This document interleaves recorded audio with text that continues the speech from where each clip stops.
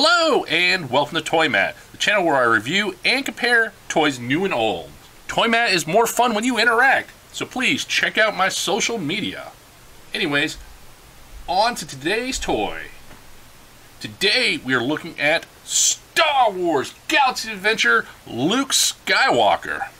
This was released in 2019 as part of the Galaxy Adventure line that was supposed to replace the standard three and three quarter inch toy line, and I think it did a bad job. So here, here's Luke Skywalker. Uh, he comes equipped with a lightsaber.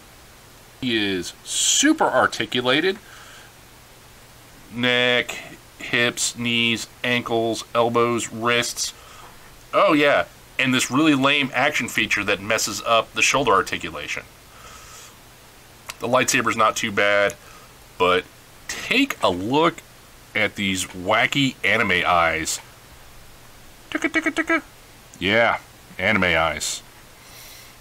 Very disproportionate to the rest of the head. Not a big fan of that. So anyways, continuing the video, I'm going to get a little help from Kenner Star Wars Emperor Palpatine, released in 1983, and Black Series Darth Vader. So let's take a look and see what they have got to say about this.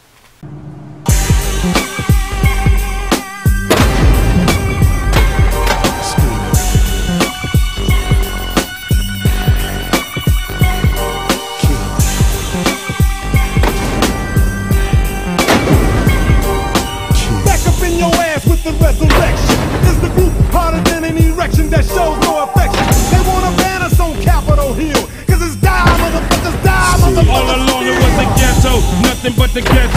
Taking short steps, one foot at a time, and kept my head low and never let go. Cause if I let go, then I'd be spineless. I'm going insane. I think my mind just goes out of control and touch on subjects motherfuckers read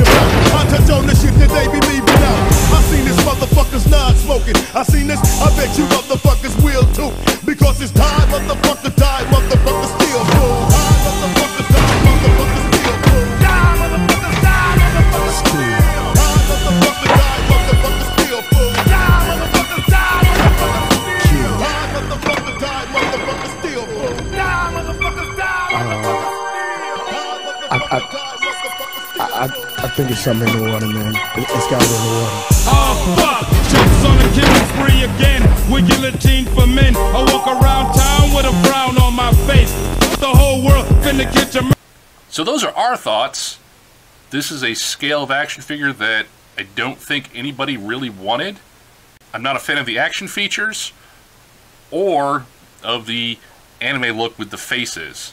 I understand that it's a toy line that's supposed to be for a cartoon, but I am just not pleased, especially since this replaced the standard 3.75 inch line.